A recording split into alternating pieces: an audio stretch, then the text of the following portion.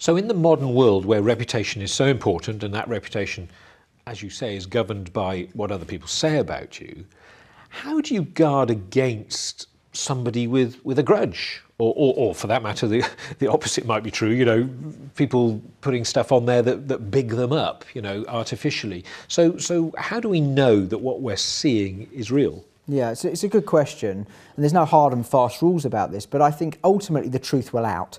So the first thing is is the web and social media is a massive magnifier. So if you're a bad company, you are going to get found out, and that's just the bottom line. I think that's good in, in the main, you know.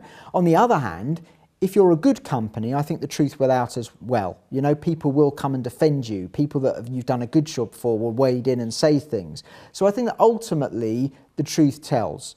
However, I think that companies, if you, if you are conscious that reputation is so important, I think today you have to foster that as best you can. So, because, you know, the big consumer companies, lots are going to be written about them anyway because of their sort of vast audiences. But if you think smaller business to business providers, we're not all going online talking about local business.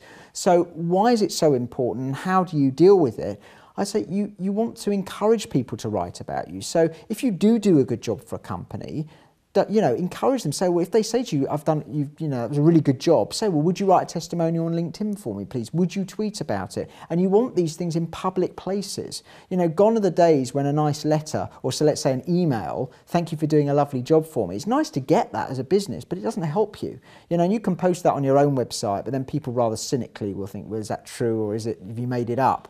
If you can get people, when someone says, oh, you did a good job, well, could you tweet that for me? Or would you write a, something on LinkedIn for me, on, on, a recommendation on LinkedIn?